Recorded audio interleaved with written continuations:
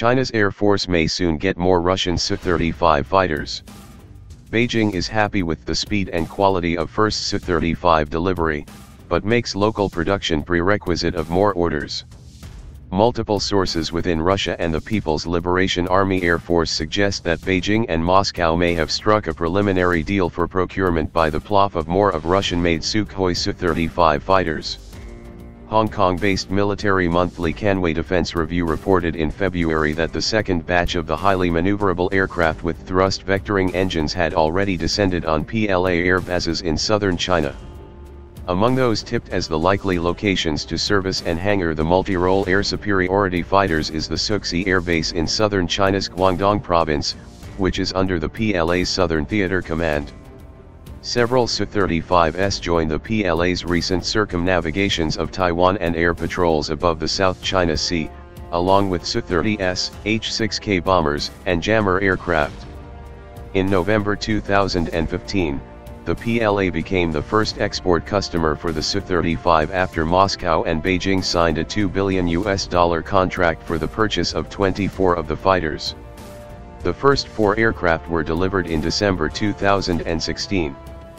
Citing sources within the Russian defense industry, the magazine noted that Su-35 producer Komsomolsk-on aircraft plant had been canvassing more orders after satisfactory feedback from the PLA about the speed and quality of the initial delivery batch.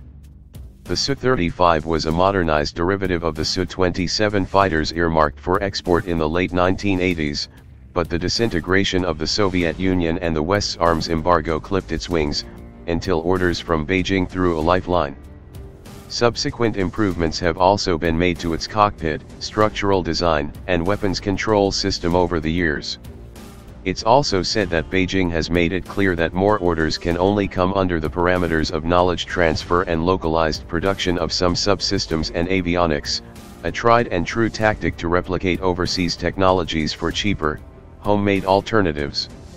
Still, Analysts say Russia may be willing to oblige now that there is a genuine rapport between the two powers, and a plethora of bilateral co-development and co-production of weapons and planes, ranging from cruise missiles to wide-body airliners, is also making headway.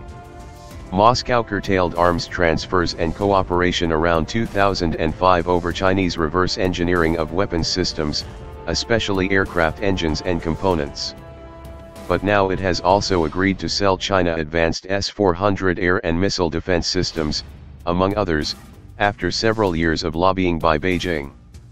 Meanwhile, the Indonesian Air Force also finalized the purchase contract for 11 Su-35s in February, with the first delivery expected by October. India and the United Arab Emirates are reportedly mulling possible purchases as well.